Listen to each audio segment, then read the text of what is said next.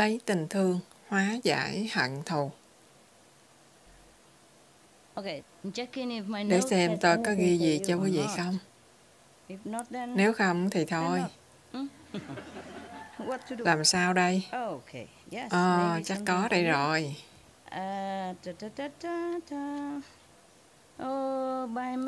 Mua xì dầu Maggi, khoai tây, chắc không phải là cho quý vị. Thật ra lần này tôi đến để nói với quý vị là sự sống của địa cầu đã được kéo dài thêm.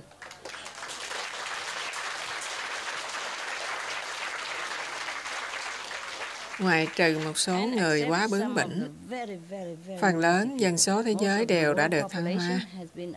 Dù họ vẫn còn sống ở đây, nhưng đẳng cấp đã được nâng lên cao hơn. Thấp nhất là đẳng cấp thứ ba.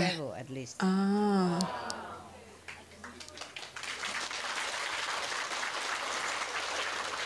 Nên khi vãng sinh, họ không phải xuống địa ngục, nhưng cũng còn tùy vào họ. Nếu họ làm gì sai trái thì có lẽ vì giáo chủ của nhân quả sẽ không thích, hiểu không? Nhưng cho đến nay, hầu hết mọi người, 99,9% đã được giải thoát.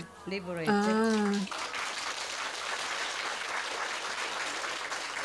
Cái này là cho tôi. Ở đây giống như một văn phòng nhỏ vậy. Cứ như tôi đang dạy quý vị trong trường mẫu giáo. Thậm chí không thể lặp lại cả câu được. Giống như là trẻ em, những trẻ em rất dễ thương. Ok, nhưng tôi đã nói với quý vị lần trước về cách nhận diện kẻ thù mà quý vị muốn biết. Dạ. Tôi muốn nhắc nhở quý vị vài điều nhỏ nữa. Có lẽ quý vị nên biết vì điều này rất quan trọng. Vì đôi khi một người quá tệ cũng có thể gây hại cho quý vị về thể xác, tinh thần hay là tình cảm. Quá tệ đến mức quý vị không thể đứng dậy để tiếp tục sống, hiểu không? Có thể quý vị còn đi lại, nhưng đầu óc, tâm hồn, thể xác vô cùng kiệt quệ. Như vậy thì rất tệ. Thế nên nếu điều này xảy ra, thì quý vị phải thiền nhiều, nhiều hơn nữa hay làm gì đó để giải quyết, hiểu không? Dạ, bởi vì có những kẻ thù, à, quý vị tưởng kẻ thù sẽ trở lại đánh đập mình này nọ à? Không hẳn vậy. Trừ khi kiếp trước họ đánh đập quý vị, thì kiếp này họ vẫn tiếp tục làm như vậy. Hoặc là họ đã đánh quý vị nên kiếp này quý vị đánh lại họ, hiểu không? Nó cứ tuần hoàn, quay trở đi trở lại như vậy. Đa số kẻ thù trở lại kiếp này bởi vì họ cần tình thương, hiểu không? Vì kiếp trước mình không có tình thương hay không cảm nhận được tình thương nên kiếp này mới phải trở lại. Vì vậy mà trở thành kẻ thù của nhau bởi vì trong nhà thiếu tình thương. Đừng nghĩ rằng khi kết hôn với ai đó rồi là đủ. Không đâu. Quý vị phải thể hiện tình yêu. Tình yêu không phải là tình dục, hiểu không? Tình dục chỉ là tiện thể thôi. Tình yêu phải thể hiện qua hành vi, cử chỉ. Yêu là quan tâm tới tình cảm và nhu cầu của nhau chăm lo cho nhau để được cảm thấy hạnh phúc, cảm thấy được yêu thương, cảm thấy mình được cần đến, cảm thấy an toàn khi ở bên nhau và cảm thấy tin tưởng lẫn nhau. Hiểu không? Mục đích của hôn nhân và tình yêu đôi lứa là như vậy. Thế nên đừng chần chừ thể hiện tình thương yêu bất cứ lúc nào. Dù chỉ là một cái ôm hay một nụ hôn trên má hay là anh nhớ em hay tạo bất ngờ với máy thỏi sô-cô-la, bất cứ gì. Luôn làm cho người kia cảm thấy họ được thương yêu, điều đó quan trọng. Cho dù bây giờ quý vị biết rồi, hoặc đã nhận ra đó là kẻ thù của mình rồi, thì cũng không sao. Cứ tiếp tục và chinh phục kẻ thù. Bởi vì chúng ta là những người chiến thắng, không phải thất bại. Bắp chiến, bắp thắng mà. Mình thắng kẻ thù, thương yêu kẻ thù. Có những kẻ thù rất tệ, quá tệ. Tệ đến nỗi không thể nào chịu nổi. Thì quý vị phải làm gì đó để giải quyết hoặc tránh đi, hiểu không? Nếu được thì tránh đi. Bằng không nếu nó quá tổn thương tới tâm hồn, tình cảm, tinh thần, trí óc, tâm lý và thể xác của quý vị thì không đáng để tiếp tục chịu đựng, hiểu không? Bởi vì những kiếp trước, chúng ta đã là kẻ thù với nhau vì thiếu tình thương. Có thể là do hiểu lầm, có thể là vì chiến tranh ngăn cách anh chị em trong cùng một quốc gia, cùng tôn giáo, cùng gia đình. thậm chí cùng lý tưởng, hiểu không? Bởi vì con người đến thế giới này là để vai trả, để chuộc lại những lỗi lầm trong quá khứ. Nhưng nhiều khi mình lại không làm như vậy. Dù sao đi nữa, nếu kiếp trước đã là kẻ thù, thì kiếp này, nếu quý vị lỡ sống với nhau rồi, thì hãy ráng thương yêu nhau, nhẫn nại và yêu thương. Kiếp trước, tại sao lại trở thành kẻ thù của nhau? Bởi vì chúng ta bị ngăn cách. Sau khi thành kẻ thù, chúng ta lại càng cảm thấy ngăn cách hơn nữa. Thế nên kiếp này gặp lại nhau, bùm, tiếng sét ái tình, vì chúng ta khát khao ao ước được đồng một thể với nhau lần nữa. Bên trong tất cả chúng ta đều mong ước được đồng nhất thể với Thượng Đế, mong ước được đồng một thể với nhau, vì tất cả chúng ta đều đồng nhất thể với Thượng Đế. Vì thế, nếu làm kẻ thù của nhau, chúng ta cảm thấy khổ sở và bị ngăn cách, đau đớn ở chỗ nào đó. Chúng ta cảm thấy cần cái gì đó, thiếu cái gì đó, mà không biết nó là cái gì, chỉ cảm thấy rất khổ sở. Thành ra khi trở lại trong kiếp này, nếu kiếp đó chúng ta không có hòa giải, thì khi trở lại trong kiếp này cứ thấy người lạ nào đó ngoài đường, ôi tim mình đập tình thịt tình thịt tình thịt, muốn tới kết bạn với anh chàng đó liền, muốn yêu anh ta hay muốn yêu cô nàng đó liền. Vì sự ngăn cách mà quý vị cảm thấy trong tiền kiếp. Thế nên ta nói đa số kẻ thù gặp nhau đều trở thành tình nhân. Thôi, lỡ rồi thì mình phải ráng nhẫn nại. Nhưng đôi khi mình nhận ra, đôi khi không hoặc đôi khi quá mù quáng. Tình yêu làm người ta mù quáng, không trông thấy. Tuy nhiên, người nào làm đau lòng người kia, người bị tổn thương sẽ không phải chịu đựng lâu dài, mà bởi vì Người bị tổn thương sẽ được thưởng, còn người làm người khác đau khổ mới chính là người sẽ ngày càng xa cách Thượng Đế và sẽ bị trừng phạt. tùy mức độ khác nhau. sau kiếp này hay ngay trong kiếp này. Nhưng người bị tổn thương họ luôn, à, vì linh hồn lúc nào cũng mang phẩm chất Thượng Đế, luôn thương yêu và bao dung, luôn vô cùng tử tế. Linh hồn chứ không phải trí óc nha. Thế nên, người bị làm đau khổ cùng cực đó luôn cảm thấy rất tội nghiệp. Người đã gây đau khổ cho mình. Rồi người gây ra đau khổ kia, từ tận đáy lòng, họ cũng cảm thấy rất an năn hối lỗi. Vì vậy, nếu họ chia tay nhau hay qua đời trong kiếp đó mà không có cơ hội để hàn gắn, để hóa giải, để thương yêu mà không có thù hận nữa, thì kiếp này họ phải trở lại. Ở thế giới này họ sẽ có cơ hội đó, vì thế giới này cho mọi chúng sinh cơ hội chuộc lại những lỗi lầm trong quá khứ. Nhưng chúng ta phải nhớ điều đó. Nếu thấy mình có phẩm chất mang tính gây hại nào, thì có lẽ mình đã làm gì có lỗi với ai đó trong quá khứ thì phải cố gắng sửa đổi. Bây giờ mình ráng yêu thương tử tế với mọi người. Nếu nhận ra quý vị là kẻ thù của nhau, bởi từ sâu thẳm bên trong tất cả chúng ta, ai cũng có đại trí huệ, đại tình thương, đại lực lượng, đại từ đại bi, đại khai ngộ này. Đó là Thượng Đế ngự trong thánh đường này. Vì thế nếu chúng ta làm tổn thương ai, vì lý do nào đó thì bên trong chúng ta cảm thấy rất khổ sở, dù không thể hiện ra, không xin lỗi, không có vẻ gì là hối hận cả, nhưng bên trong chúng ta thật sự thấy ân hận. Còn người bị tổn thương kia, họ cũng có linh hồn, thế nên dù bị tổn thương, họ vẫn cảm thấy thương hại cho người kia, vì họ không biết mình đang làm gì. Chúng ta cảm thấy như vậy, tương tự như loài vật. Được, quý vị có thể ngồi, muốn thông dịch hả? À, được, đi đi. Đi lối đó được không? Đi đằng này, lối này nhanh hơn, là đây.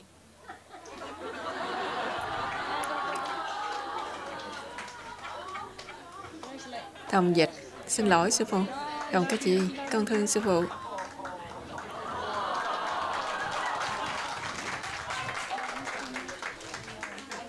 Cảm ơn tình thương của cô.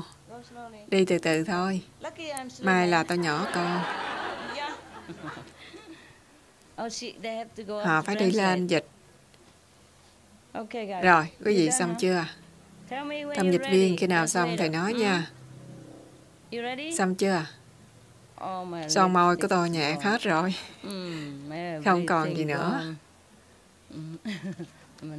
Bây giờ là vẻ đẹp tự nhiên rồi. Dạ, hy vọng vậy.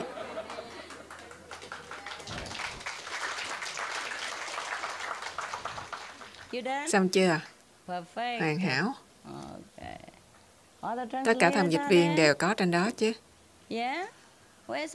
Cô người Mông Cổ đâu rồi? Tôi không thấy. Được rồi, tốt, tốt, thấy rồi. Bây giờ phải nói tiếp. Tôi không nói lại đâu nha. Quý vị cứ nói với họ rằng chúng ta đang nói về kẻ thù và tình thương. Nói tóm tắt rồi mình tiếp tục. Cách nhận ra kẻ thù và cách hóa giải hận thù. Thế nên hai bên, trong lúc bị tổn thương hay lúc gây tổn thương, trong lòng họ cảm thấy vô cùng ân hận. Dù họ không ý thức được, nhưng có lẽ hạ ý thức của họ biết.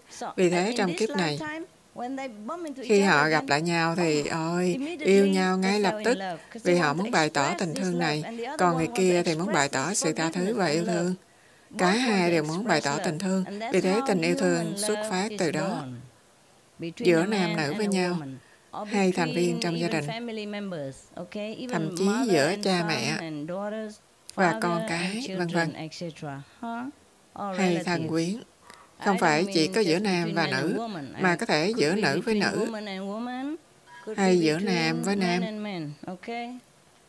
Tình yêu thì khác. Tình yêu là tình yêu.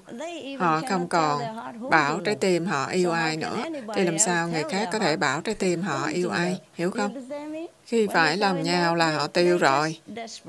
Họ cứ xa vào thôi. Bởi vậy người ta mới nói, xa vào lưới tình, xa vào.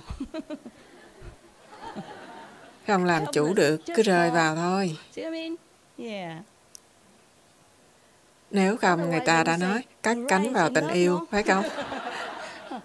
Hay bay vào tình yêu, hay là bước vào tình yêu. Họ đâu có nói vậy, mà họ nói xa vào lưới tình. Họ cứ xa vào thôi. Không cưỡng lại được mà cứ xa vào. Câu nói tiếng Anh đó không đến nỗi nào.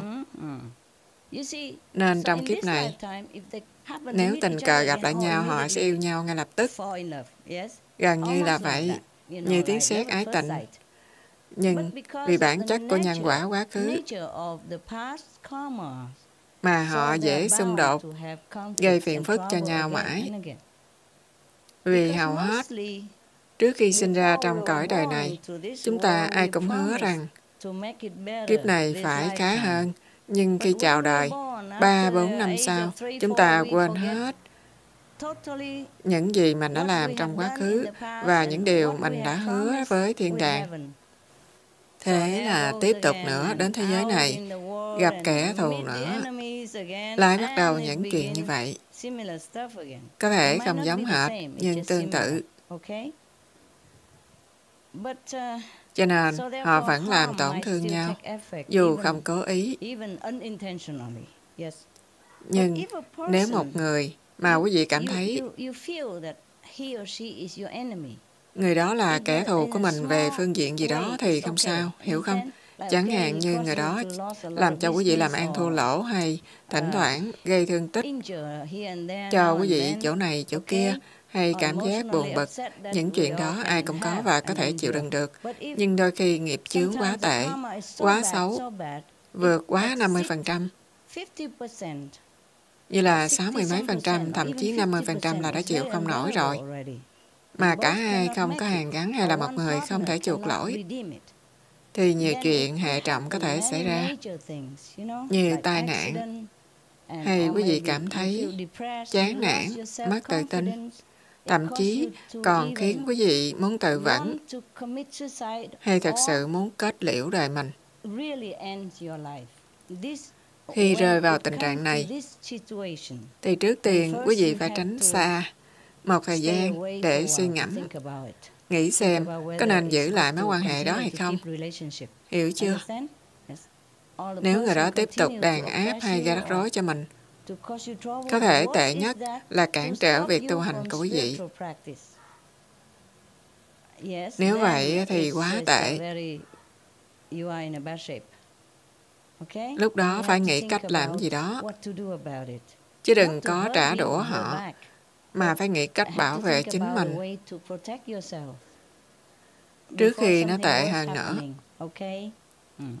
Nếu quý vị bắt đầu cảm thấy buồn bã, chán nản vì mối quan hệ tình cảm này và nó cứ tiếp tục mãi, dù quý vị cố gắng đến mấy, và người kia vẫn không thay đổi, hay không cách nào thay đổi được họ, rồi nó cứ khiến mình tự trách là tại mình hết, dù không đúng, không phải lỗi của quý vị. Quý vị biết thế, nhưng không hiểu sao, cứ cảm thấy mình có lỗi là người gây ra tất cả. Cho dù đó là lỗi của người kia, không phải lỗi của mình, quý vị biết thế, nhưng vẫn tự trách mình rồi càng ngày càng buồn bã, thậm chí còn muốn tự sát. Nếu vậy thì quý vị phải thôi ngay, để cứu cả hai. Bởi vì nếu ở với nhau như vậy, thì quý vị sẽ như thế nào? Và người kia cũng sẽ ra sao? Hiểu không? Hoặc là người kia ngược đãi mình quá mức thì quý vị cũng phải ra đi, hiểu không? Hmm. Đôi lúc quan hệ tình cảm đến mức mà lúc nào quý vị cũng cảm thấy nhục nhã. Hai người lẽ ra yêu nhau tha thiết, yêu say đắm ngay từ ngày mới quen. Nhưng tuần trăng mặt qua rồi thì chuyện lại khác, trở thành quá tệ, chuyện nhỏ, chuyện to, chuyện này, chuyện nọ. Dần dần quý vị nhận ra là mình đã nhầm lẫn. Nhưng đôi khi quý vị không thoát được. Quý vị không muốn hoặc quá yếu đuối, hoặc nghiện nỗi đau đó luôn rồi. Có người như vậy. Nhưng quý vị phải lưu ý, tới mức nào đó thôi, hiểu không? Hãy thoát ra, đừng để mình bị tổn thương quá nhiều.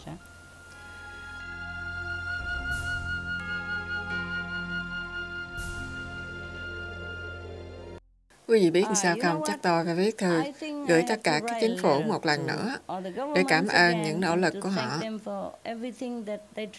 và cảm ơn tất cả những uh, người đã chuyển sang thuần chay hay ngừng giết hại loài vật uh, và các tổ chức đã cố gắng bảo vệ địa cầu bằng những cách khác nhau bảo vệ uh, môi trường thậm chí có khi họ còn mạo hiểm cả tính mạng của mình có khi như vậy. Chẳng hạn như tổ chức Hòa bình xanh hay là những người bảo vệ cá voi, hải cẩu. Um,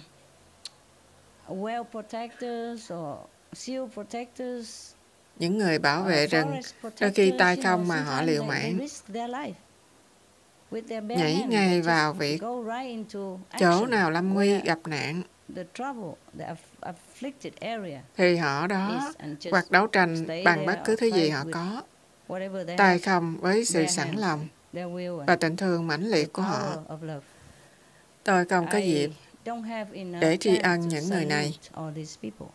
Nhưng có lẽ tôi sẽ viết thư gửi tới các chính phủ và tất cả các tổ chức này, đồng thời cũng đại diện cho quý vị cảm ơn họ. Và tôi cũng cảm ơn quý vị, quý vị cũng góp phần vào từ trường tràn đầy tình thương của địa cầu. Và chúng ta có thể cùng nhau cứu địa cầu thậm chí tồn tại lâu hơn nữa chứ không phải chỉ có 58 năm thôi. Địa cầu sẽ tiếp tục. Chúng ta cũng phải cảm ơn thiên đàng đã gia trì, giúp đỡ và ban ân điển cho chúng ta với tất cả lực lượng để chúng ta có thể cứu địa cầu. Bởi vì địa cầu này xinh đẹp và nhiều người vẫn còn muốn cải thiện chính mình. Có lẽ họ vẫn chưa làm được nhưng họ sẽ cải thiện. Nếu ai cũng cải thiện thì họ phải cải thiện, đúng không? Không có còn lựa chọn nào khác. Giống như ở đây, ở nhà thì quý vị cứ lăn ra ngủ, nhưng mọi người ở đây ngồi thì quý vị cũng phải ngồi. Dạ. Đâu có chỗ đâu nằm. Ngã ra phía sau thì bị người kia đẩy lên. Người phía sau đẩy lên trở lại. Ngã tới phía trước thì người phía trước cũng đẩy cái gì ra phía sau. Nghiêng sang bên trái hay bên phải thì cũng vậy thôi. Thế nên nếu chúng ta cải thiện chính mình, thì mọi người sẽ cải thiện theo. Dạ. Thôi, thời gian quý vị ở đây ngắn ngủi. Cố gắng đừng ngủ, nghe không? Nếu ở đây nóng quá thì quý vị ra ngoài vườn thiền nha. Ngồi thì cũng ngủ thôi, dĩ nhiên rồi, ta biết thế. Nhưng quý vị có cơ hội tỉnh dậy thiền tiếp. Nhưng nằm xuống là xong. Tạm biệt. tiếng Nhật, chào, tiếng Tây Ban Nha, chúc ngủ ngon, tiếng Pháp, chúc ngủ ngon, tiếng Đức, tạm biệt, tiếng Đức. Gặp quý vị vào ngày mai, tiếng Đức. Chúng ta cũng viết thư, gửi tất cả báo chí, tất cả các đài truyền hình, cho họ biết là nhờ sự giúp đỡ và nỗ lực của họ mà chúng ta đã cứu được địa cầu thêm vài chục năm và còn tiếp nữa, chứ không phải chỉ có bấy nhiêu đó thôi. Đó là tin vui. Thôi, trời ơi, chưa nói xong kẻ thù sao lại tới cái này nhỉ? Tại giấy tờ để lung tung lộn ngược lộn xuôi. Được rồi, đôi khi quan hệ tình cảm không những uh, bởi vì nghiệp chướng sâu dày giữa kẻ thù với quý vị quá nặng nề đến mức mà quan hệ tình cảm của hai người không những làm quý vị không thấy hạnh phúc tươi sáng, tự tin, đẹp đẽ, không cảm thấy đáng yêu và được yêu thương, mà còn làm cho quý vị cảm thấy chán nản hơn, cô đơn hơn. Đôi khi họ còn cấm quý vị gặp gỡ bạn bè một cách vô cớ, hiểu không? Mà không có lý do. Không phải là anh ta trốn tránh gì đó, điều đó khác. Nhưng bình thường, Người đó đã có tính chiếm hữu, áp bức, thậm chí không cho quý vị sống, không thở được. Mà thiếu họ thì quý vị lại cô đơn, thành ra không có bỏ được, nhưng ở bên họ thì quý vị càng cô đơn hơn, không cách nào thoát ra được. Đó mới là vấn đề. Không có họ thì không sống nổi, mà có họ cũng không sống nổi thì quý vị phải tìm cách. Nhưng chưa chắc đã làm được. Lúc đó có lẽ quý vị đã quá yếu đuối rồi không có sức kháng cự, không còn sức lực để thức tỉnh mà ra đi. Phải ráng lên, trường hợp đó. thì quý vị phải cầu nguyện, tọa thiền nhiều hơn, tâm sự với người khác.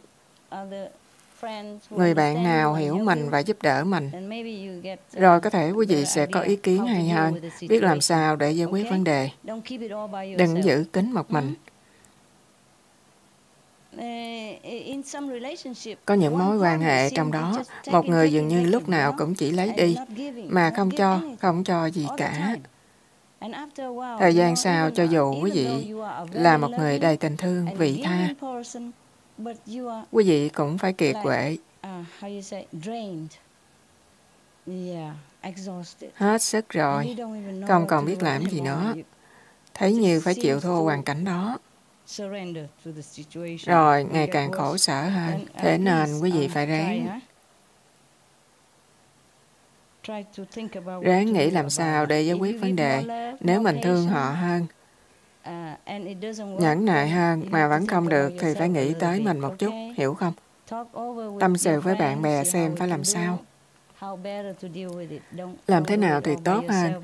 Đừng tự lo lấy bởi vì một mình trong hoàn cảnh như vậy. Quý vị đã bị mắc trong đó rồi, nghĩ cũng không có thông. Hãy nói chuyện với người thứ ba, một người mà mình đáng tin cậy rồi có lẽ sẽ tìm ra giải pháp. Có người tệ đến nỗi họ khiến mình tự hại bản thân mình hoặc tự kết liễu đời mình. Phải biết như vậy. Bởi vì nó cứ xảy ra hoài. Quý vị yếu đuối quá rồi, cái gì cũng tự trách mình. Quý vị quá chán nản, không còn muốn nghĩ đến giá trị đời mình. Đừng bao giờ tự vẫn hay tự làm tổn thương mình vì bất cứ ai. Hiểu không?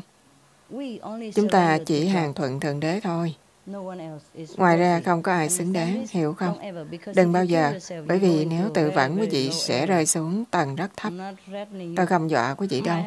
Có thể quý vị quá chán nản và rơi xuống cảnh giới thấp. Ở đó không nghĩ được gì và cũng không nhớ gì cả.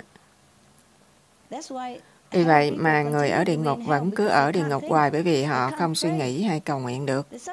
Họ vô cùng đau khổ. Chỉ có kêu gào la hét, không cầu nguyện nổi, hiểu không? Nghĩ đến việc cầu nguyện cũng không nổi, không nhớ Thượng Đế. Đau khổ triền miên thì làm sao mà nhớ được, hiểu điều này không? Tất cả những gì sai quấy xảy ra giữa hai người, nếu đó là quan hệ thù địch, thì hầu hết quý vị sẽ tự trách mình nếu đó là kẻ thù đích thực Đôi khi quý vị bị bệnh cũng là do yếu đuối, biết không? Quá căng thẳng rồi quý vị đau ốm bệnh tật, không hồi phục được. Đôi khi không làm quý vị tổn thương về thể xác, mà về tinh thần, vì bị xúc phạm hoặc bị phản bội. Khiến quý vị cảm thấy bị coi thường, không được thương yêu. Như thế cũng thật tệ và khủng khiếp. Hoặc có khi họ mang bạn xấu về, gây rắc rối nữa. Đủ thứ chuyện, quý vị phải lưu ý. Ok, lưu ý để cố gắng chỉnh đốn mối quan hệ giữa hai người. Nếu quý vị bị tổn thương, hoặc nếu quý vị đang làm người kia đau lòng thì cũng cần kiểm thảo. và cố gắng sửa đổi. Được chứ? Thôi, được rồi. Phải để ý nha, nhưng đừng lúc nào cũng nghĩ phủ định về người đó.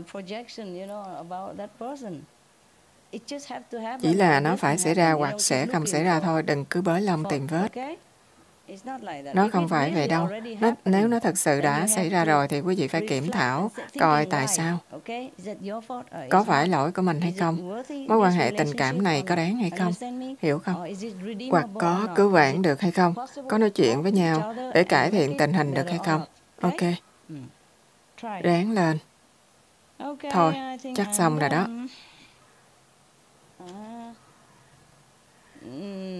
Rồi bây giờ, vừa nãy ta muốn làm gì nhỉ?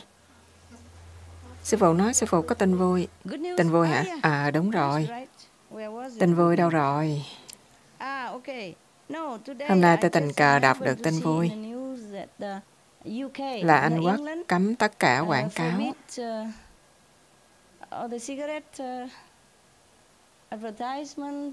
cũng như trưng bày thuốc lá. Dạ. Đúng không? Oh, quý vị biết tin này không? Dạ biết. Tôi biết trễ hay sao? Nói thêm nghe coi. Nói thêm nghe coi. Thậm chí người ta không được công khai bày bán thuốc lá trong các cửa hàng. Các máy bán hàng tự động, không gì cả. Một số cửa hàng nhỏ vẫn còn bài bán bởi vì nó thuộc về tiệm nhỏ, họ không biết giấu vào đâu. Có lẽ họ viện cớ hay nào đó, nhưng à, thậm chí không được bày ra bất kỳ chỗ nào mà có thể trông thấy được. Thậm chí thanh thiếu niên, giới trẻ cũng chấp nhận điều này. Họ cảm thấy rất tốt. Không thấy thì không thèm. Dạ, họ nghĩ như vậy tốt. Bởi vì nếu không bày ra trước mắt, thì nó không cám dỗ mình mua. Như vậy cũng đúng. Quý vị biết không, ở nhà mỗi ngày tôi chỉ ăn một bữa thôi mà nhiều khi cũng phải đấu tranh tư tưởng để ăn chút gì đó. Tại thiền lâu cũng chán. Ăn một chút cho đỡ buồn. Có gì đó để khoai khỏa đầu óc mà ăn một bữa thôi và ăn rất ít. Ở đây, họ nấu nướng bày cả một bàn ăn, không đói cũng thấy muốn ăn. Không ăn thì uổng quá, phải không? Đồ ăn sẵn sàng, sao không ăn chứ? Toàn là những món ảo Lạc Việt Nam mà tôi thích ăn. Tưởng tượng xem. Giống như quý vị là người Tây Ban Nha, mà họ cứ bài toàn món cơm thập cẩm Bilas và bánh que churros hay món gì đó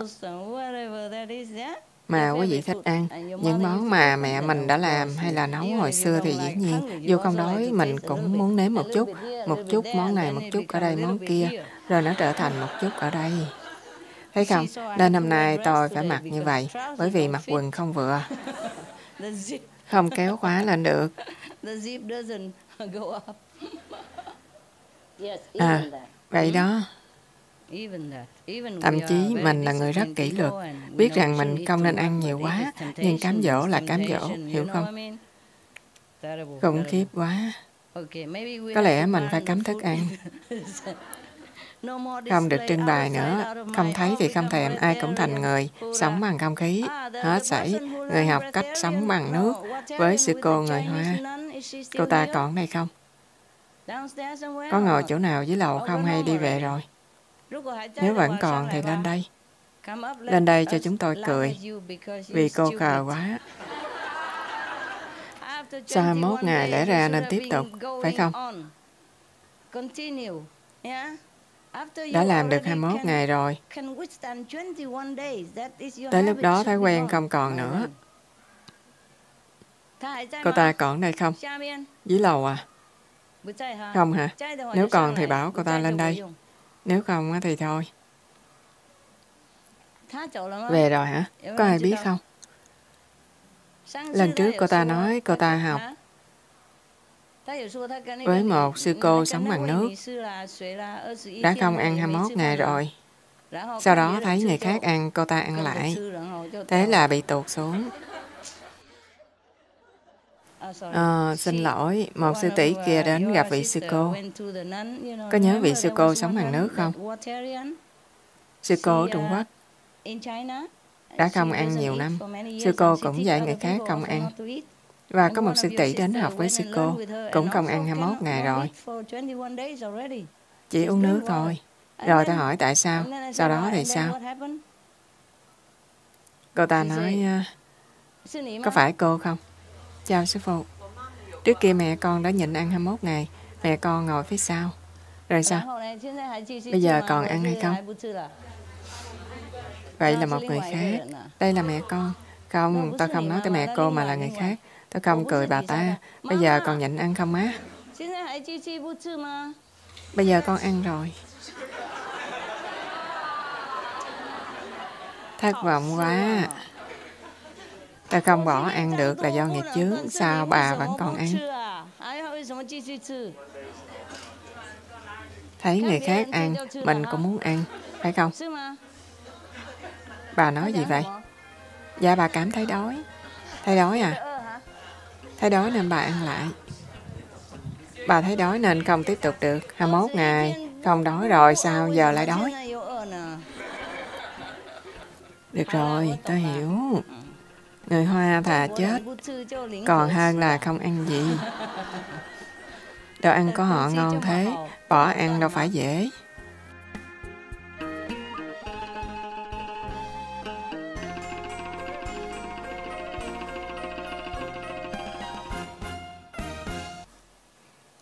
Đằng sau kia có chuyện gì vậy? Con xin thưa sư phụ rằng bây giờ con chỉ ăn trái cây. Nhưng con thấy khỏe lắm. Con thiền tốt và cơ thể khỏe mạnh. À, con cũng xin hỏi sư phụ. Khi chúng ta bỏ ăn, à, con biết một sư tỷ cũng bỏ ăn 21 ngày. Cô ấy nhờ con hỏi câu này. Nói ta nghe, trong lúc nhịn ăn, uống nước lạnh hay uống nước nóng tốt hơn à? Uống gì? Dạ uống nước lạnh hay nước nóng? Nếu thích nóng thì uống nước nóng, nếu thích lạnh thì uống nước lạnh. Dạ, cảm ơn sư phụ. Vậy mà cũng hỏi. Nếu muốn lạnh thì khỏi cần đun sôi, nếu muốn nóng thì phải đun. Khác nhau vậy thôi. Có ai muốn hỏi gì không? Giám đốc lên hết của chúng con đã không ăn hơn một tháng rồi. Nước cũng không uống. Ai? Giám đốc lên hết. Ta tưởng cô nói xưng hấp.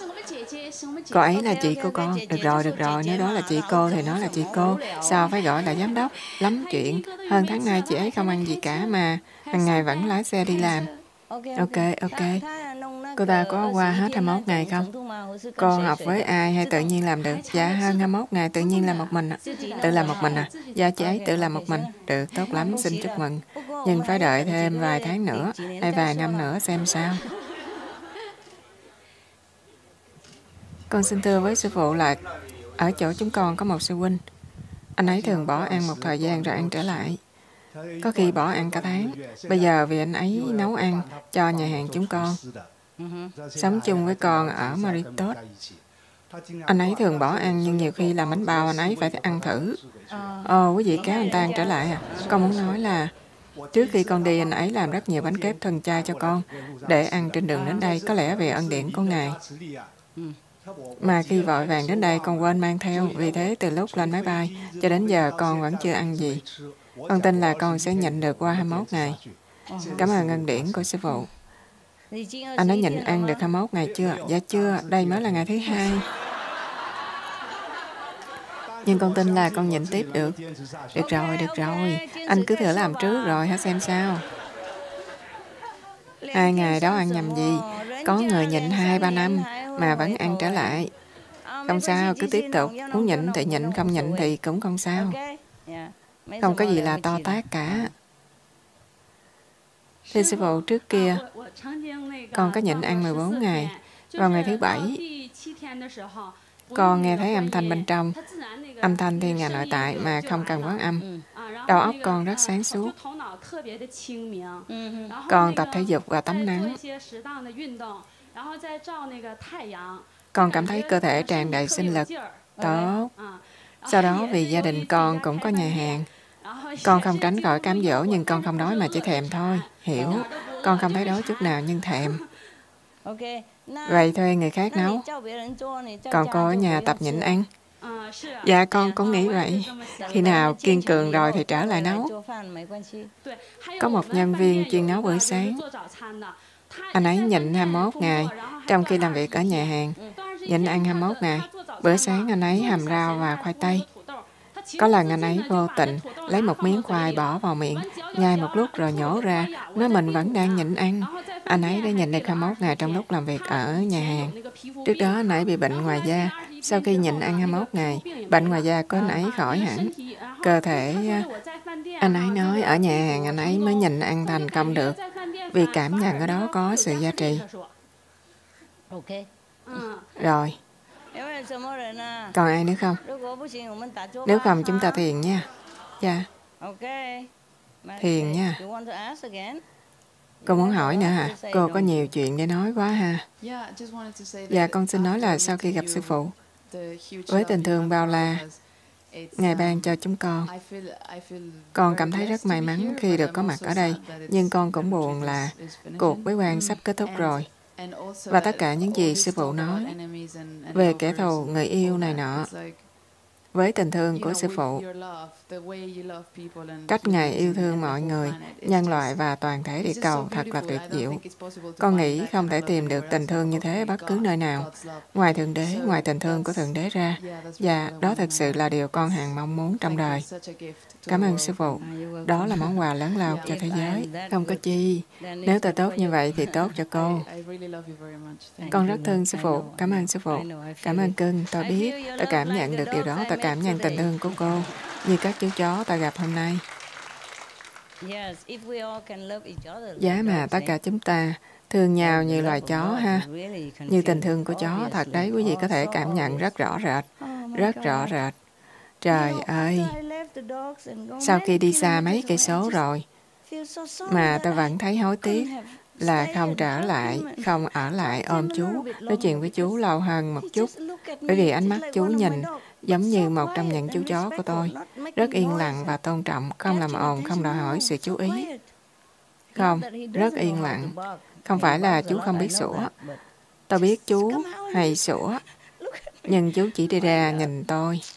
Chào ơi, tôi sẽ chuẩn bị vài khúc xương chay cho chú khi nào tôi đi ngang qua đó. Nếu chú không có đó, thì tôi sẽ treo ở cổng. Nhưng thế nào chú cũng có đó vì họ là chó gác cổng mà. Thông thường nếu có gì đến gần họ sủa lớn lắm, nhưng nhà đó có cổng. Họ nhảy ra, chặn ngay trước mũi xe. Như muốn nói, không chào, thì không được đi qua. Thật sự tuyên bố như vậy. Loài chó đâu có làm vậy, họ sủa hay là nhảy quanh, chứ không có đứng trước mỗi xe như vậy. Nhìn chầm chầm vào hai đèn xe như không gì hại họ được. Mấy chú chó này thật phi thường, họ luôn chiếm lấy trái tim tôi. Họ tranh giành với quý vị. Ok, vui hưởng tình thương của cô nhé. Thưa sư phụ, con có một chuyện nhưng lại ngại nói với Ngài, đừng ngại. Đó là về mối quan hệ giữa con với mẹ con thật sự con không thể nào chịu nổi. Ờ, chuyện gì vậy? Như là cô ở cùng với bà hả? Dạ không, ở chung. Nhưng về tình cảm mẹ con kiểu như độc đoán. Hiểu. Mẹ con muốn gì là con phải làm. Con phải, ờ, hiểu rồi. Thậm chí khi về thăm bà, con không thiền được. Bà làm mọi thứ ầm ầm. À, hiểu. Mở truyền hình, làm phiền. Con nói, con đâu có làm gì cho con yên một chút được không? Một giờ đồng hồ thôi. Thông thường thì bao lâu cô về thăm bà một lần? Mỗi tuần một lần hả? Dạ không, mỗi tháng một lần. Bởi vì mẹ con ở xa. Vậy bao lâu? Mẹ con sống ở Israel nhưng khi gặp bà về thăm bà, cô không về thăm thường xuyên thì ráng nhẫn nại. Nhưng mẹ con nghĩ là con bỏ rơi mẹ con bởi vì bà đã 70 tuổi rồi và bà cần con. Con bảo lãnh mẹ con sang đây. Hơi khó khăn. Ở Canada nhiều à, không dễ. Thủ tục hành chánh, tìm việc làm cố định. Muốn bảo lãnh bà con phải có đủ tài chánh. À, hiểu rồi. Còn à, bà có biết dùng máy vi tính, viết điện thư này kia không? Dạ không, con nói chuyện với bà qua điện thoại. Nói chuyện hả? Vậy đâu có sao.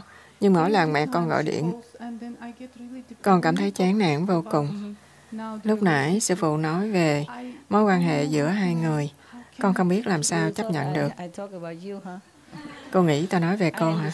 Tôi hiểu cưng, nhưng con không biết. Nghe đây, nhưng con phải làm sao? Nghe đây. Mỗi khi bà nói chuyện, có lẽ bà nói lâu trên điện thoại.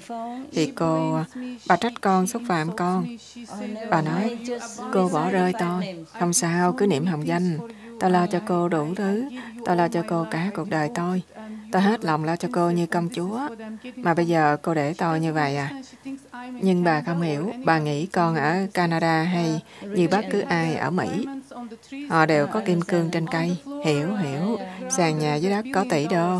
À, nên họ không hiểu. Tôi biết, tôi biết. Nghe đây. Mẹ cô già rồi và rất cô đơn. Nhưng bà đã, ngay cả trước kia bà đã như vậy rồi, nhưng bây giờ lại càng tệ hơn bởi vì bà cô đơn, hiểu không? Giả sử cô là bà, bởi vì cô không thường xuyên thăm bà, thế nên khi cô về thăm, dù bà không để cho cô thiền, thì cũng không sao. Khi nào bà ngủ thì mình thiền, đáng bào bạn với bà một lúc. Tưởng tượng cô là bà, không phải tôi bên vực mẹ cô. Dạ, con hiểu, hiểu không? Tôi không đứng về phía mẹ cô, tôi hiểu từ đó tới giờ. Cô đã rất là chán nản. mệt mỏi lắm rồi mệt mỏi dạ phải.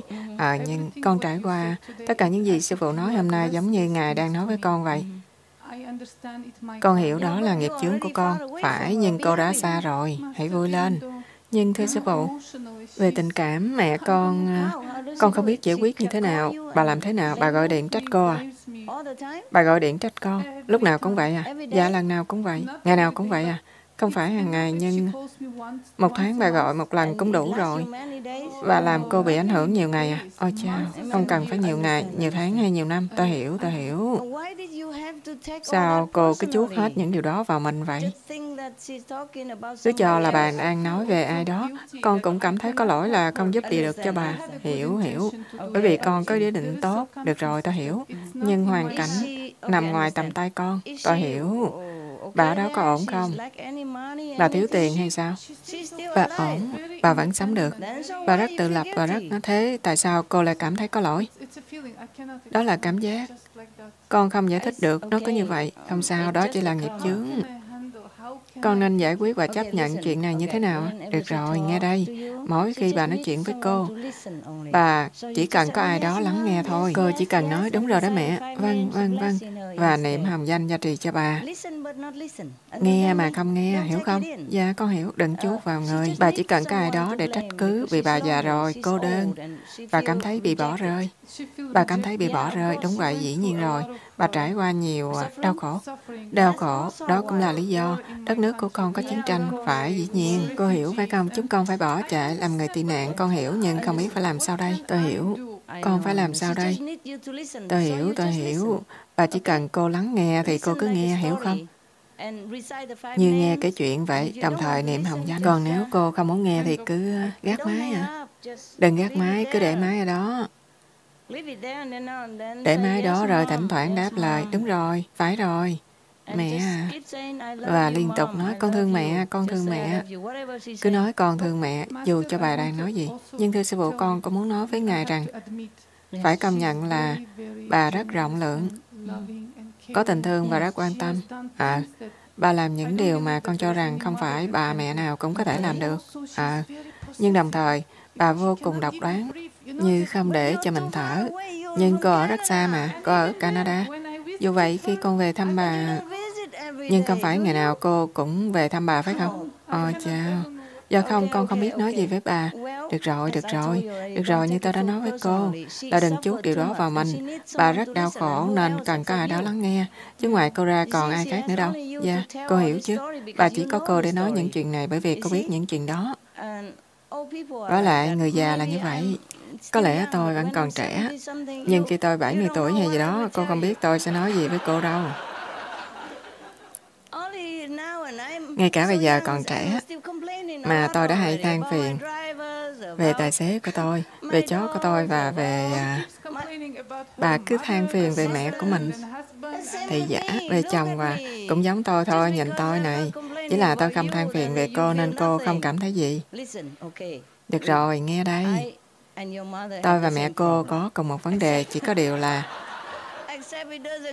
vấn đề của tôi không liên quan đến cô, nên cô không cảm thấy gì. Bởi vì bà là mẹ cô nên cô mới cảm thấy thế. Cứ nghe mẹ cô nói như đang nghe sư phụ nói vậy. Phải, cứ cho là cô đang được rửa nghiệp vì giúp vơi đi phần nào gánh nặng cho bà.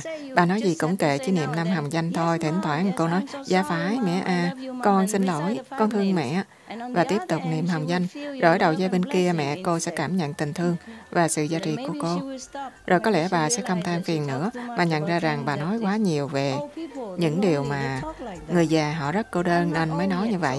Tôi chưa già nhưng đừng khiến tôi sau này cũng thế nha. Nhưng sau này có lẽ tôi sẽ gọi cho cô và cứ nói về cha tôi ở thiên đàng hay mẹ tôi ở đăng cấp thứ năm rồi. Tôi không biết được. được rồi, cưng. Cảm ơn Ngài, cảm ơn Ngài rất nhiều.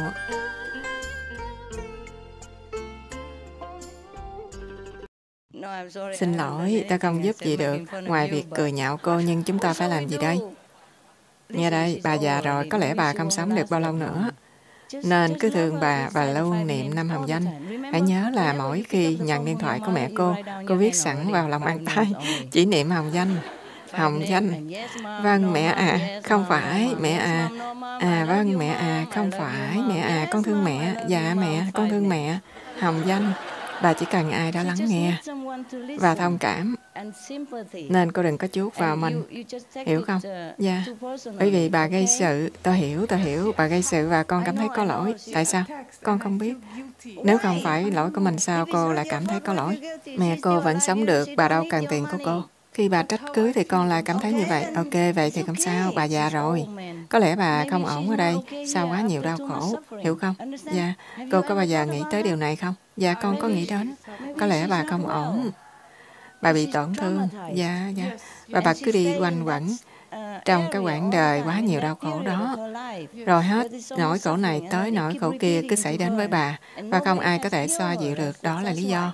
Lẽ ra bà nên đi khám bệnh, tâm thần hay tư vấn bác sĩ. Sư phụ dù sao con vẫn thương bà vì bà là mẹ con. Con có thể giúp bà thế nào? Có cách nào mà niệm hồng danh, con cầu nguyện, con làm mọi điều. Gửi vài tấm hình và nhạc của tôi cho bà nghe xem sao. Con để quyển sách biếu của Ngài. Rồi mẹ con nói, ai vậy, ai vậy? Con nói không sao, cuốn sách này hay lắm. Cứ để ở đây, quyển sách tâm linh này hay lắm. Chi vậy, để làm gì? Thôi đi mẹ không. À. Hiểu rồi, bà bắt đầu, ngài biết không? Tôi hiểu. Bà sợ con muốn giúp bà nhưng không biết làm cách nào. Được rồi, vậy thì thôi, đừng ép bà. Cứ tòa thiền. Bà san sẻ từ xa chúc công đức của cô cho bà, được chứ? Xin nhớ là bà đã già rồi. Dù tệ thế nào đi nữa thì cũng có nguyên do, hiểu không? Dạ, dạ.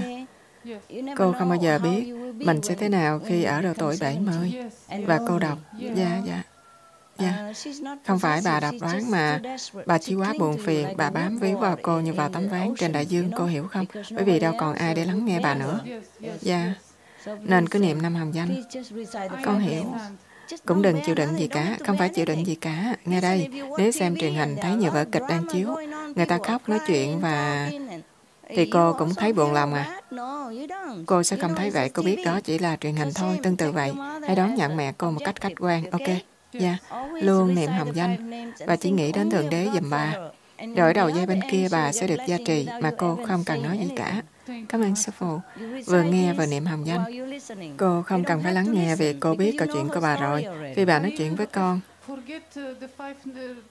Con quên cả niệm hồng danh, bởi vì cô quá tập trung lắng nghe bà. Dạ đúng thế.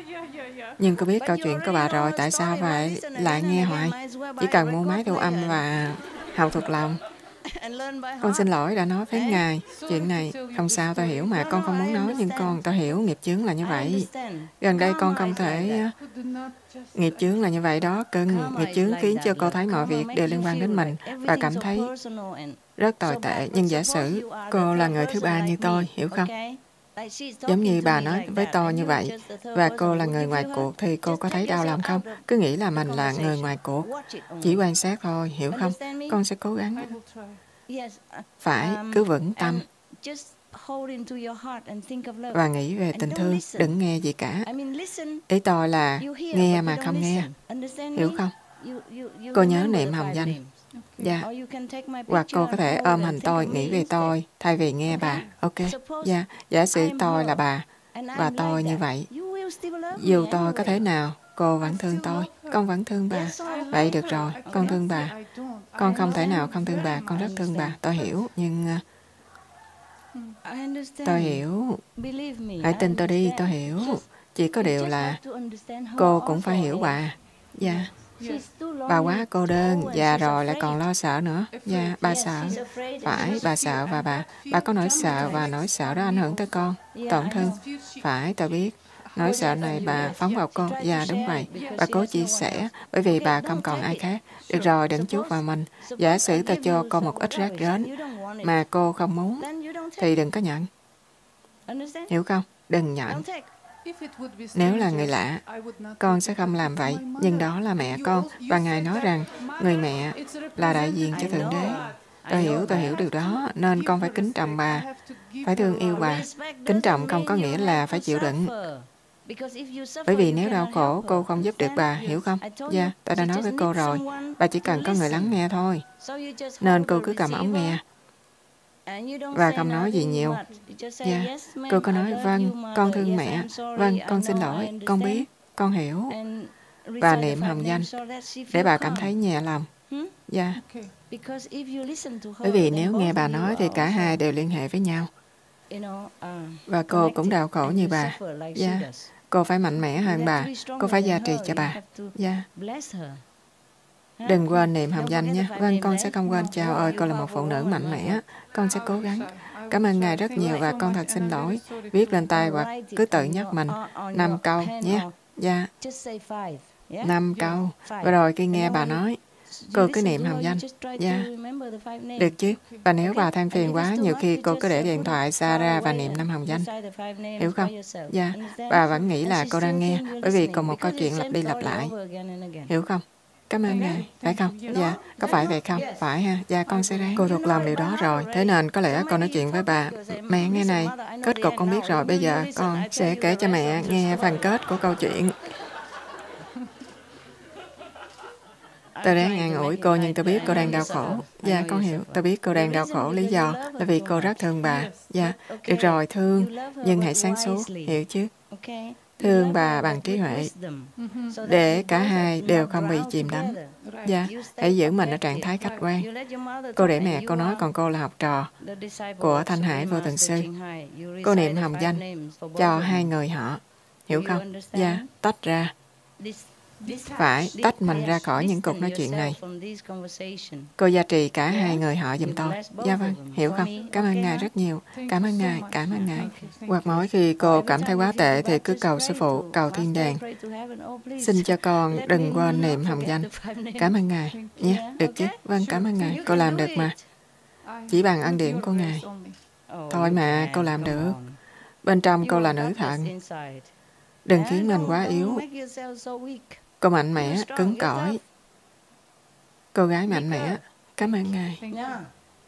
Người tiếp theo. Thưa sư phụ, cũng một tin vui nữa. Tin vui thì tốt. Và khách sạn Leavenworth sẽ tham dự lễ hội thường trai ở Tuscany. Đó là một hoạt động lớn nhất ở châu Âu trong lĩnh vực này. Oh, yeah, dạ, chúng ta phải đi suốt chặng đường từ Áo sang Ý hả? Dạ, chà, và chúng con có một gian hàng và một nhà bếp. Xin chúc mừng cha phải vậy chứ. Và chúng con cũng chuẩn bị diễn thuyết nữa. Quan hồ. Dạ, vậy thôi, cảm ơn sư phụ. Ờ, hãy đến đó giúp họ. Vâng, con sẽ giúp họ. Dũng sĩ. Tốt, tin vui, tin rất vui. Thưa sư phụ, con xin hỏi một câu hỏi nữa. Có một người không phải là đồng tu. Bà đã chăm sóc hơn 40 chú chó hoang, nhưng bà không tiếp tục được nữa, nên chúng con tiếp quản trại chó của bà. Bây giờ chúng con có hơn 60 chú chó. Ban đầu chúng con thuê người chăm sóc, nhưng bây giờ thường xuyên có những người thích chó đến cho chúng con gạo và bột mì cũng như tiền, bởi vì con là kế toán của trại chó và Ngài dạy chúng con không nên nhận đồ cúng dường. Vậy con xin hỏi Ngài trong tình huống này, chúng con có thể nhận tiền của những người không phải là đồng tu? Được. Được, phải không? Cho chó phải không? Dạ, cho chó không phải cho chúng con. Được, được, được. Dạ, cảm ơn sư phụ. Cho họ có cơ hội kiếm công đức. Quý vị không được dùng số tiền đó nha. Dạ, không đâu ạ. Đồng thời qua trại chó, chúng con cũng khuyến khích họ thương yêu động vật và ăn chay. Hiểu rồi, hiểu rồi. Dạ, cảm ơn sư phụ. Không có chi. Gì đó, con muốn hỏi à? Được. Kính thưa sư phụ, mẹ con năm nay cũng 70 tuổi rồi. Mẹ con muốn nói nếu mà con gặp sư phụ, hỏi dùm coi mẹ muốn thọ tâm ấn, được không sư phụ? 70 tuổi rồi làm sao tâm ấn? Này, cho cô, người đang đau khổ. Khóc nhiều quá, dùng chút nước. Nói sao nhỉ? Cho tỉnh táo. 70 tuổi rồi, còn tâm ấn gì nữa? Ăn chay bao lâu rồi? Dạ ăn chay được 4 tháng thì ba con mất rồi ăn chay luôn. Nói bà tu phương tiện đi ha. Tu phương tiện 2 năm rồi. Được rồi, được rồi, ok. Bây giờ quyết định thọ tâm ấn, con không biết làm sao nữa. Đủ rồi, đủ rồi, ai biểu hồi xưa không chịu, bây giờ mới chịu. Dạ, dạ, cảm ơn sư phụ. Bây giờ chịu, sư phụ không chịu. Cảm ơn sư phụ. Hồi xưa biểu không chịu, bây giờ biểu sư phụ không chịu. Về, nói với má về, ha. Dạ, cảm ơn sư phụ nhiều, không có gì. Ai biểu bà hồi đó, biểu bà không chịu, hả? Bây giờ sư phụ không chịu lại, phải không? Cho nó quen, hả? Dạ, cảm ơn sư phụ, không có chi. Tôi xin lỗi, 70 tuổi, tu phương tiện là tốt lắm rồi. Rồi, quý cô, quý ông hả? Quý ông trẻ tuổi, chào sư phụ, Ngài khỏe không? Xin chào, tôi khỏe, con chỉ muốn nói cảm ơn Ngài. Cuộc đời con thật tuyệt vời. Mọi thứ con hàng mong muốn đều đến với con. Chà, lúc đó con đã học xong hai văn bằng và trước mắt con có kỳ thực tập lớn. Chà, anh thực tập về ngành gì? Con làm việc tại trung tâm NASA ở Houston. Khi con còn nhỏ, con luôn muốn đi vào không gian, thế nên con làm việc theo mục đích đó. Đó là ước mơ từ thời thơ ấu của con. Con cũng có chút mâu thuẫn với mẹ mình, tương tự như sư tỷ kia. Bà cũng là đồng tu và rất thương Ngài. Bà muốn con làm thần trú. Ồ, thôi đi, nhưng con rất thích cuộc sống của mình. Tôi hiểu, con cảm thấy con có thể tạo thêm nhiều sự khác biệt trên thế giới bằng nói với bà dù gì tôi cũng cảm nhận anh. Cảm ơn Ngài. Quyết định là anh, không phải là bà. Cảm ơn Ngài. Con đã cố nói vậy với bà, nhưng trong tư tưởng của bà đó là mục đích là niềm ao ước. Anh cứ nói con xin rồi nhưng sư phụ không cho. Cảm ơn Ngài. Đó, bảo với bà, không phải ai sư phụ công nhận mày biết rõ điều đó mà. Cảm ơn Ngài. Được rồi, bà có đây không? Dạ không, mấy hôm trước thì bà có đây. Vừa về nhà là bà liên tục gọi cho con để xem con có đến đây hôm nay không, bởi vì bà lo lắng và bà liên tục gây áp lực cho con. Được, nhưng chuyện này chẳng liên quan gì đến chuyện kia, đây là hoàn toàn chuyện khác. Không giống chuyện của cô ta. Đừng có nói bậy. Hãy nói với mẹ anh, mỗi người đều có số mệnh khác nhau. Làm thần trú rất tốt, dạ, nhưng không phải ai cũng làm được. Và tôi nghĩ lúc này tôi cũng không thể chọn nhiều thần trú. Dạ, tôi đi khắp nơi, thì quý vị làm thần trú để làm gì? Dạ, anh làm thần trú ở NASA thì cũng giống vậy thôi. Đối với con, con thực sự thấy mình không làm được thần trú. Không, tôi cũng thấy anh không làm được, vì vậy tránh xa chuyện này ra. Con sẽ tránh và nói với mẹ cho mẹ con biết. Về anh nói chuyện này với tôi làm gì? Ồ, là về, về mẹ con. Con muốn chính Ngài nói ra điều này. Thì mẹ con mới không gây áp lực cho con nữa. Thế nên ai cũng đem khó khăn cho tôi hả? Con xin lỗi. Rồi đổ lỗi cho tôi hả? Nhưng bà nghe Ngài chứ không nghe con. Bà biết là tôi không nhận ai làm thần trú nữa mà. Vả lại rất khó, không phải ai cũng làm được thần trú.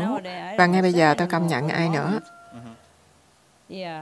Trước kia tôi cố định ở Tây Hồ, nên mọi người cứ đến với tôi, rồi tự nhiên chúng tôi hình thành một cộng đồng nhỏ. Yeah.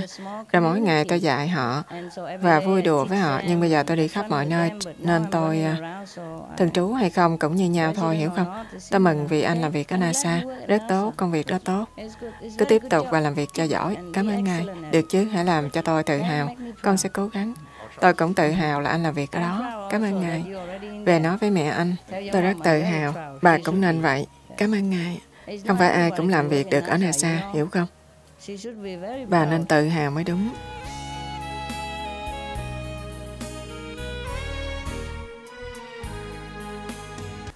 Ý anh là anh có thể cùng lúc vừa làm việc vừa tu hành.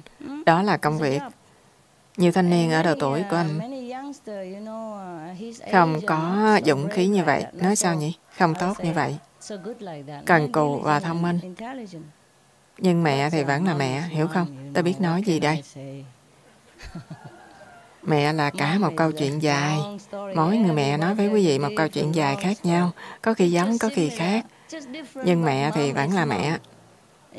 Và đôi khi người ta nói mẹ vợ, lại là chuyện khác nữa. Ôi, làm ơn đi, trời ơi. Quý vị, tôi không biết chuyện gì xảy ra với quý vị, hiểu không? Mẹ tôi, bà thường không có ngọt ngào hay dịu dàng với tôi. Nhưng bà rất tử tế và rộng lượng, chi trả nhiều thứ để tôi được đi học. Bởi vì đôi khi cha tôi quá rộng rãi với người khác, nên bà phải chăm lo cho gia đình. Nhưng mẹ tôi cũng vẫn là mẹ.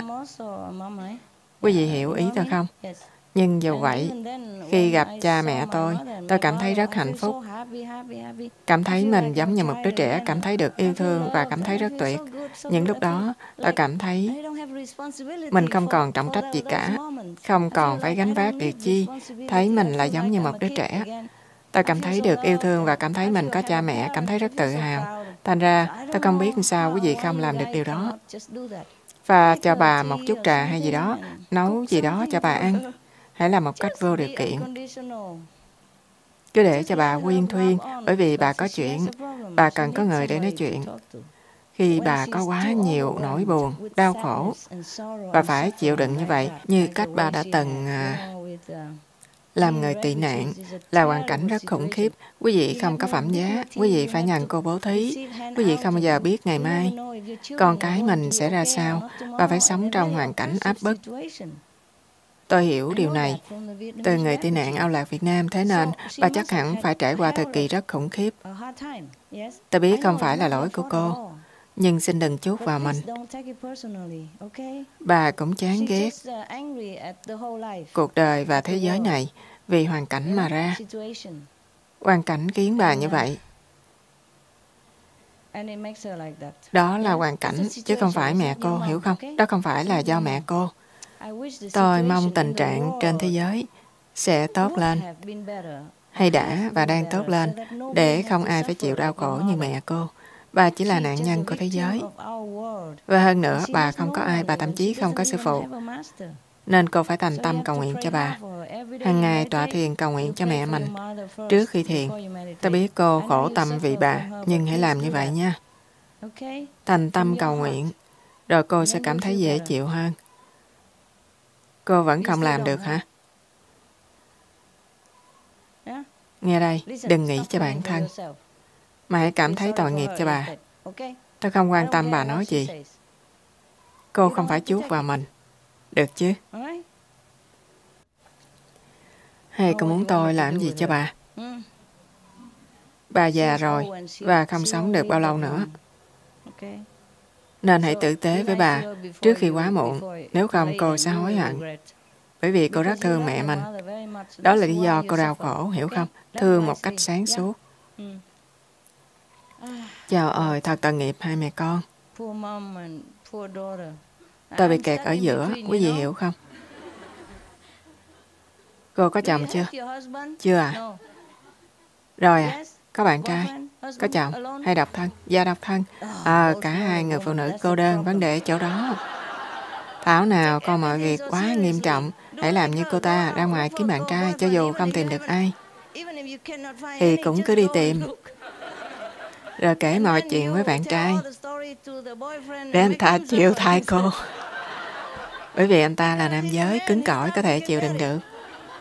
Căng thẳng quá không tốt cho cô đâu. Trong kìa, xinh đẹp như thế mà lại căng thẳng đến vậy. Này, có ai nói tôi hay? Nên làm gì cho cô ta không? Ý tôi là lời khuyên nào không? Dạ về thăm mẹ cô ấy. Phải và ôm bà vào lòng. Luôn thương yêu bà. Nếu cô cứ thương yêu bà thì bà trách cô được bao lâu chứ? Đôi khi chó của tôi rất nghịch và tôi muốn la mắng họ, nhưng họ cứ luôn vẫy đuôi và nhìn vào mắt tôi thế này. thì làm sao tôi có thể mắng họ được? Thay vì la mắng, tôi là ôm họ, hãy như chó của tôi, hiểu không? Ôi chào, quý vị biết không, cuộc sống của tôi quá bận rộn, nhưng các chú chó thật dễ thương, nên thậm chí tôi phải dành thời gian cho họ. Đôi khi tôi còn không có thời gian để ăn hay nghỉ ngơi. Nhưng nếu họ cứ thương yêu và vẫy đùa như thế thì tôi cũng phải ôm họ, ngồi nói chuyện với họ, nói rằng tôi thương họ nhường nào. Và tôi vô cùng xin lỗi vì không có đủ thời giờ dành cho họ. Không không có đưa họ đi chơi, mà để người khác đưa đi vào những câu đại loại như vậy. Hãy như một chú chó nha. Làm ơn đi. Mẹ cô rất cần tình thương. Bà quá buồn phiền.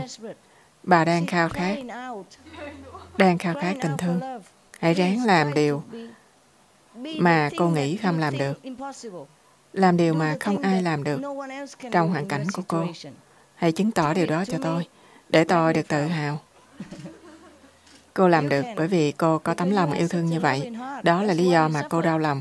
Nhưng đừng chịu đựng nữa, hãy giải quyết, hiểu không? Hãy lắng nghe bà, ôm bà và nói, mẹ ơi, con thương mẹ, con biết. Con sẽ nấu món này cho mẹ và đưa mẹ đi chơi, xem phim hay bất cứ làm điều gì thuộc về mẹ và con gái. hay thường xuyên gửi cho bà vài lời nhắn, thư từ tình cảm, hàng ngày, mỗi tuần một lá thư. Bởi vì trong khi bà nói, cô không nói gì được, bà chiếm hết không gian và thời gian. Cùng lúc, bà vừa nói vừa nghe, nên cô không có dịp. Vì vậy, cô nên viết thư gửi bưu điện, được chứ? Gửi bài hàng tuần hay hàng ngày lúc nào cũng được, cứ cứ gửi càng nhiều càng tốt. Khi đọc, bà sẽ nhận ra cô thương bà nhiều chừng nào hơn là nói. Thưa sư phụ, chỉ là...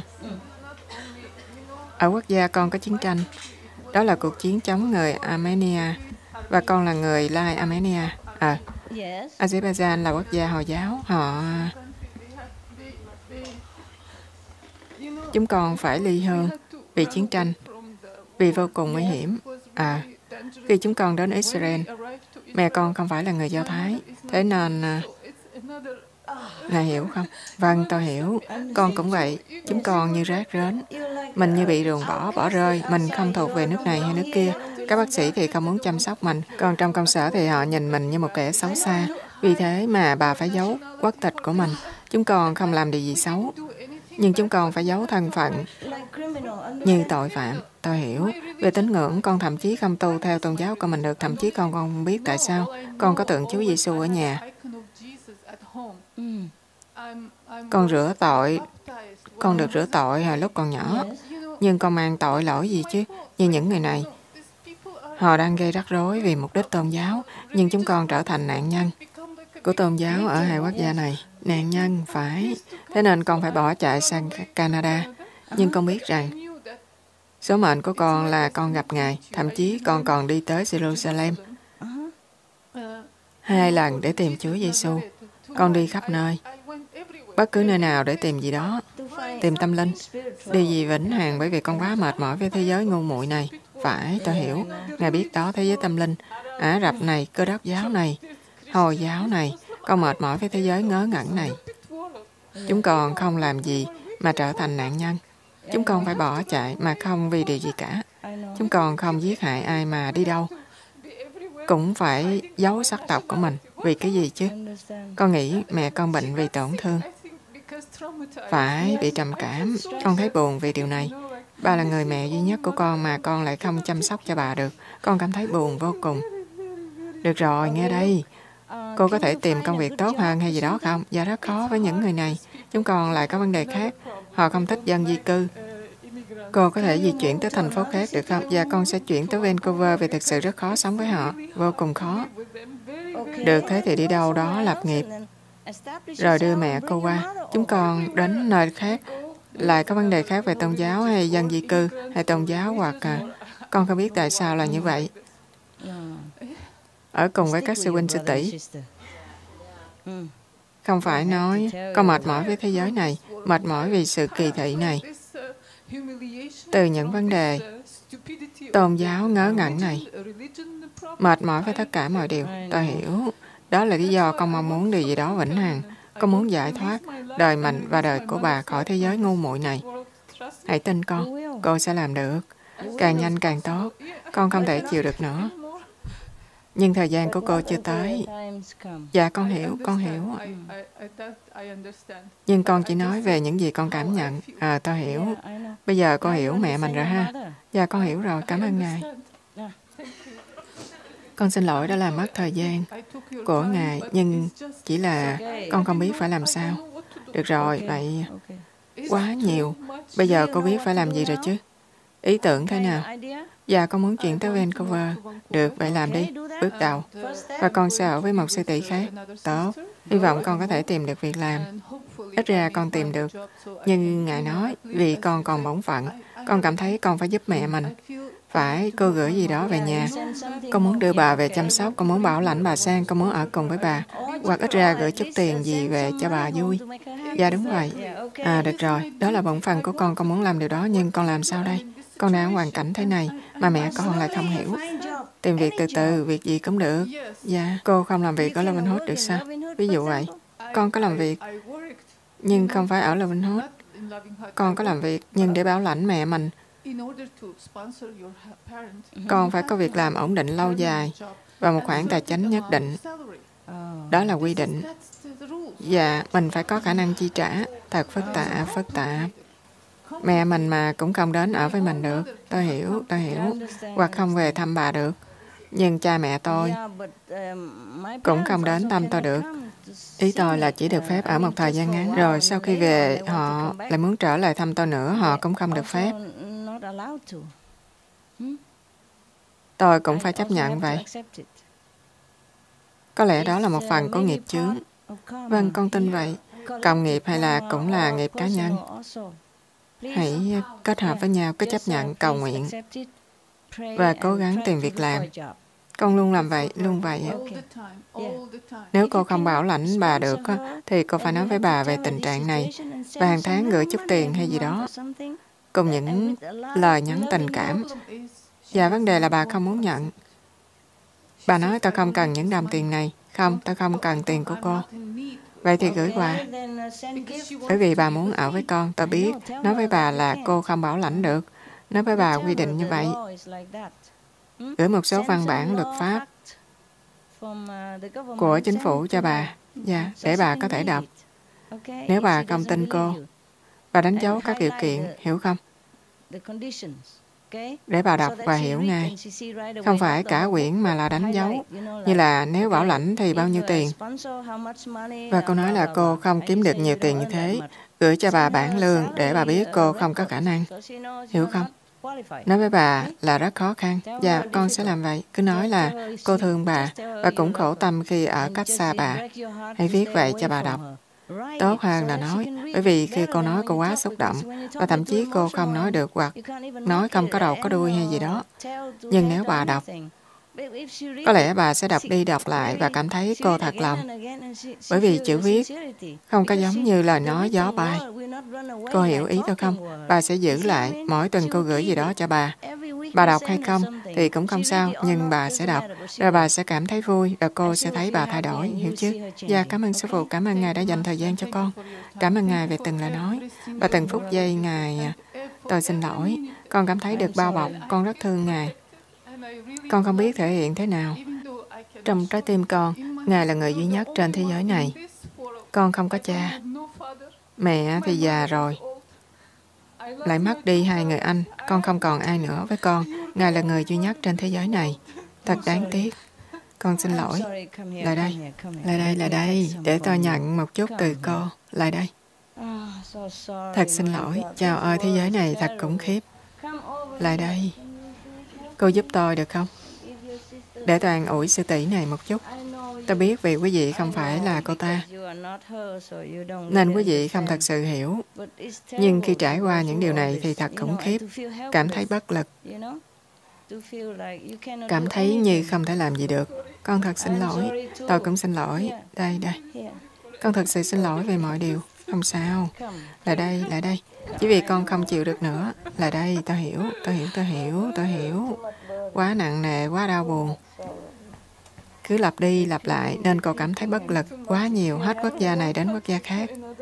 Con không chịu được nữa. Con nói nếu có cơ hội, con muốn chết. Con không chịu được nữa. Đừng chết. Đừng chết, đừng chết. Mọi người muốn gặp lại cô khi chúng ta có bế quan. Nhưng cô may mắn là có thể đến đây bế quan, không phải sao? Cô gửi một ít kẹo cho mẹ cô. Đừng nói gì cả, cứ gửi cho bà, được chứ? Cô gói bằng gì đó và cứ gửi một hay hai, à, cứ gửi cho bà rồi nói mẹ à. Con có một ít kẹo cho mẹ, muốn gửi cho mẹ, vậy thôi, hiểu không? Không phải bà là người khắc nghiệt. Bà chỉ là nạn nhân của chiến tranh. Bà cũng bị tổn thương quá nhiều từ thế giới này. Thử nghĩ xem, cô còn trẻ và đã không trải qua nhiều như bà. Mà cô đã quá đau khổ đến như vậy. Hãy hình dung hoàn cảnh của bà. Hãy tưởng tượng xem, hiểu không? Bà già rồi lại còn không có ai. Không có hy vọng, hiểu không? Khi mình còn trẻ thì còn có hy vọng. Như là ai mà biết được mình sẽ sớm tìm được việc làm tốt hay tìm được một bạn trai tốt chăm sóc cho mình. Nhưng già rồi không còn gì để hy vọng nữa, hiểu không? Đó là lý do bà thấy chán nản và hay gây sự. Bởi vì bà quá tuyệt vọng. Bà cứ kêu gào, bà không biết mình đang làm gì. Không biết mình đang nói gì. Bỏ qua cho bà, thương yêu bà nhé. Không còn lựa chọn nào khác. Cho dù tiền kiếp bà là kẻ thù, nhưng bây giờ bà là mẹ cô, nên biết nói gì đây, hiểu không? Cảm ơn Ngài. À, nhưng ít ra cô cũng ở xa và có chút không gian để thở. Để nghĩ gì đó giúp bà, hiểu không? Dạ, nếu cô ở với bà sẽ có lẽ còn tệ hơn giống như cả hai đều chìm đắm vào nỗi đau tinh thần. Và người này không giúp được. Người kia rồi còn tệ hơn nữa. Ít ra cô có thể đến gặp tôi, vậy là may mắn lắm rồi. Nhiều người còn không đến được, họ mang chính quốc tịch của mình. Họ sống tại quốc gia của mình. Nhưng có một số người không thể đến được vì nhiều lý do khác nhau. Ý tôi là không nhất định là người tị nạn như cô mới chịu khổ. Người ta sống trong chính quốc gia của mình mà không có tự do, không có an ninh. Cô xem truyền hình thì biết. Cô thấy ở Syria, Somalia, Mali, nhiều người sống trong chính quốc gia của mình. Vì thế không phải vì cô là người tị nạn nên mới chịu khổ, mà thế giới này có vấn đề. Không ai thực sự có thể thay đổi được. Trừ khi xóa sạch mọi nghiệp chướng, cộng nghiệp của cả quốc gia, gia đình và của cá nhân. Nhiều lắm. Thật xin lỗi, tôi rất tiếc. Tôi cười nhưng cảm thấy buồn. Thế giới này đúng như cô nói, phải làm gì đây? Ta đã quen với nó rồi. Bây giờ tôi làm được gì thì làm. Luôn lắp theo cách của mình để hoàn thành công việc. Tôi không đối phó, không phàn nàn, không bận tâm đến mọi thứ. Tôi chỉ luồn lách như vậy thôi. Tôi làm việc, quý vị hiểu không? Tôi làm việc như thế này. Miễn sao có hiệu quả là được, không thành vấn đề. Tôi không cần phải ra thế giới để chứng minh tôi trong sáng hay tốt đẹp hay thánh thiện hay bất cứ gì, hiểu không? Tôi cứ luồn lách một cách khiêm nhường để làm công việc của mình. Bằng không, tôi sẽ không làm được công việc của mình. Được rồi, cưng. Ăn kẹo thuần chai đi rồi cô sẽ cảm thấy cuộc đời ngọt thế nào. Cảm ơn Ngài.